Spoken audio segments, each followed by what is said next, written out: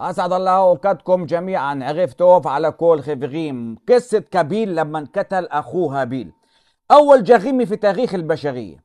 قال تعالى في سورة المائدة في الآية الحادية والثلاثين. فطوعت له نفسه قتل أخيه فقتله فأصبح من الخاسرين. فبعث الله غرابا يبحث في الأرض ليريه كيف يواري سوءة أخيه. قال يا ويلتى أعجزت أن أكون مثل هذا الغراب فأواري سوءة أخي فأصبح من النادمين. بعث الله غرابا. يعني الغراب اللي أسكت علم إسرائيل وهي الحادثة الثانية على فكرة هو مبعوث من الله سبحانه وتعالى. ومش بس الغراب اللي أسكت العلم لا لا لا. كمان في قطة أسكتت العلم هل هذا حسب علمكم صدفة؟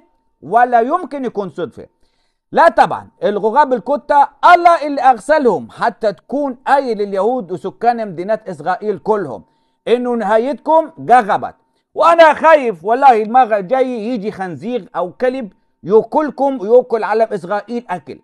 وللمرة المليون بقولكم اهربوا واقحروا من فلسطين لأنها مش أخذ الميعاد ولا أنتوا شعب الله المختار.